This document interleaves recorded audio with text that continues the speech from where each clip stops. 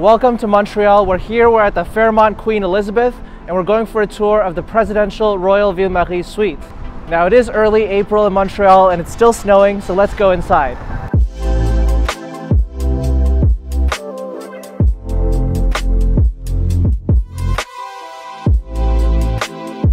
As part of this visit to the Fairmont Queen Elizabeth Montreal, we'll be touring the three top tier suites at the property, starting with the $3,000 a night John Lennon and Yoko Ono suite. Alright guys, welcome to the third most expensive suite here at the Fairmont Queen Elizabeth Montreal. This one's called the John Lennon and Yoko Ono suite, and it's specifically designed in tribute to John Lennon and Yoko Ono's stay here when they conducted the bed-in protest in 1969. We've got a king-size bed here as part of the master bedroom, and this is exactly where John and Yoko staged their bed-in protest all those years ago. This room is also where the song Give Peace a Chance was recorded, and so there's a guitar here as part of the decorations. Then over here we've got a VR headset. I don't really know what this is all about. Maybe it gives you John and Yoko's perspective from back in the day.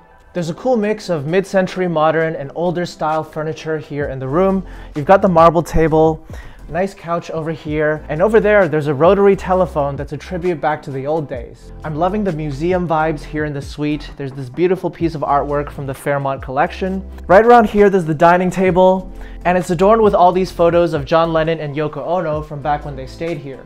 What I loved most about the John Lennon and Yoko Ono suite were all the artistic yet functional details in the room, such as the words Give Peace a Chance inscribed in the walls, or the brown leather bound handles on the drawers. Now over here down this hallway you have the second bedroom here in the John Lennon and Yoko Ono suite, and this is actually the only suite type out of the top three suite types here at the Fairmont that has two bedrooms. So if you're looking to ball out on your next day in Montreal and you're looking to share the suite with another set of occupants, then maybe consider booking this one.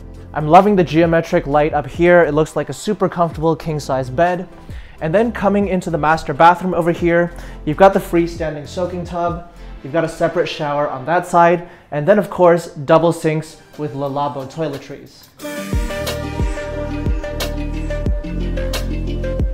We're on our way to the 20th floor where now we're going to check out the $3,500 a night Mile End Suite.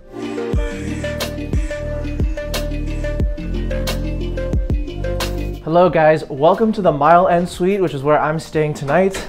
Entering through this short little entryway, we come over here to the main part of the suite. Incredibly sized, there's a living area and a separate dining table. Let's go check out that part. Before we get there, here's the pantry and minibar. Got this super advanced Nespresso machine over here, which is awesome, and then the mini bar down here. Looks like we've been treated to a nice little charcuterie plate as the welcome amenity here at the Fairmont Queen Elizabeth. I'm really loving this solid wood table over here, as well as some of these chairs.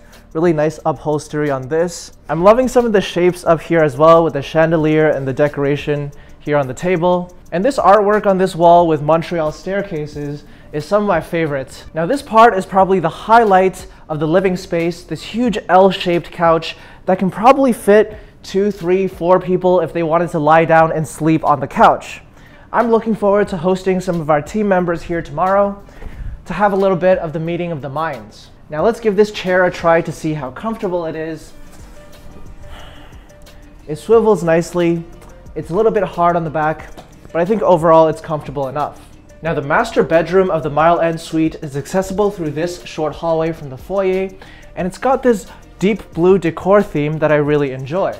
Now over here, there's the king size bed, and then following me through, it's the master bathroom with a freestanding soaking tub, double sinks, and an individual shower unit. And of course, this being a Fairmont property, all the toiletries were supplied by the highly regarded luxury brand Le Labo. So we've checked out the $3,000 John Lennon and Yoko Ono suite and the $3,500 Mile End suite.